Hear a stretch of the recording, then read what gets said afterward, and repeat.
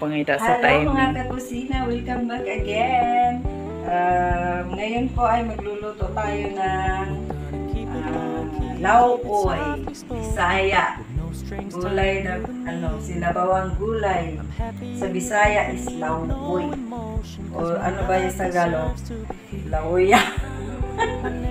Ilocano yan. Uh, ang sangkap natin is magpapakulo tayo ng tubig na may lemongrass at luya. Tapos, yung ating mais, mayroon tayong sweet corn. Iuna natin ilagay dito sa kumukulong tubig. Tapos, hindi pa pala tapos. Unahin natin yung mga matitigas. Alog, ah, itong sitaw. Pwede natin siya isunod.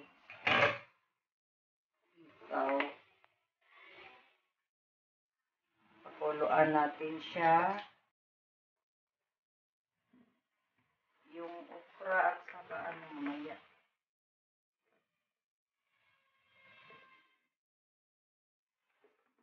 Tapos, at kamatis. Kamatis.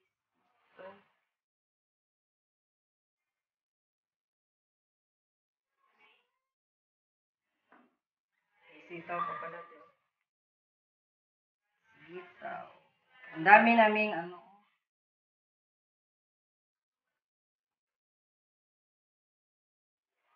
Ang dami naming sangkap. Kasi itong gulay, papahaba ng buhay.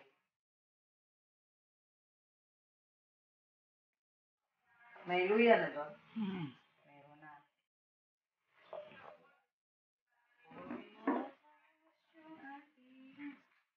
Talong na mulit.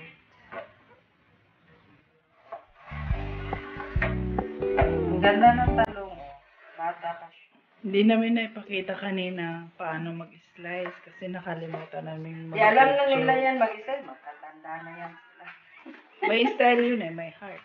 Ano heart sa Dito sa puso. Di.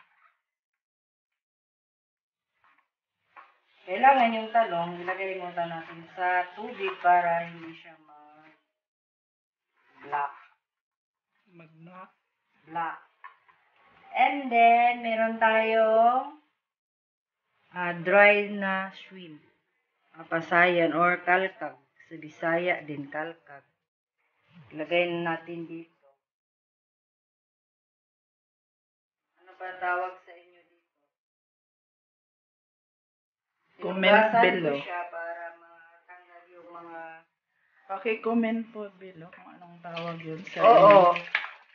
Yung maliliit na dry na ano. Kasi sa Bisaya, kalkag. Kalkag. Shrimp. Ano ba shrimp ba o? Baby. Baby prawn. Baby prawn. Meron din palang halubati. Mamaya na ito, ilasa alubati. So, Ano na yun? Pakukuluan natin ang ating gulay na nauna. Hugasan.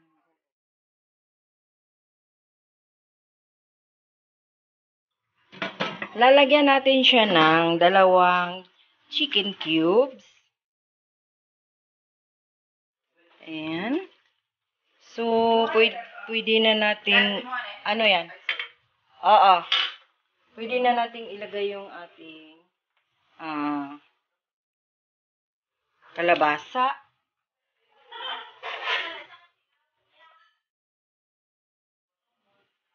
Ang sarap nito, masustansya, pampahaba ng buhay.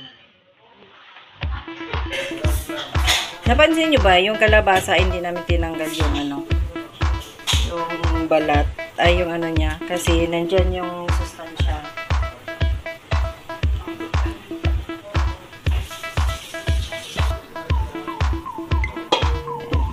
Next natin ang talong. May pista dito. Tapos yung ating okra.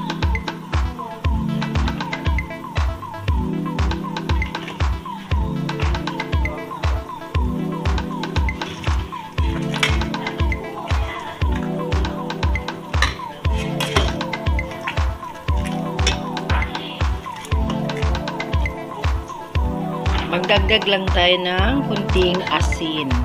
Kasi medyo maalat-alat na yung ating ano, yung dry na shrimp. Yan, luto na ang ating ibang sangka. Last yung ating alugbati.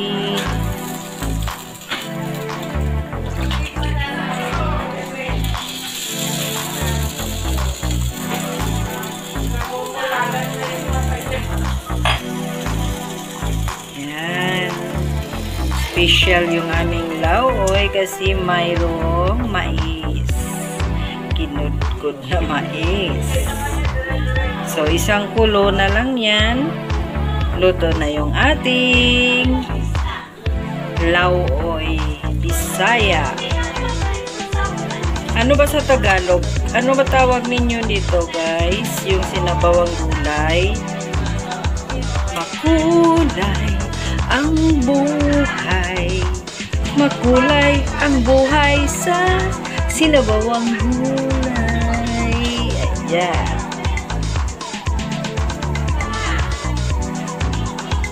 Mm. Masarap na siya kasi yung aluba, ay yung kalabasa natin is matamis at saka yung corn. Kaya luto na yung ating lauoy. Thanks for watching. Kakain na kami. Budol fight na naman.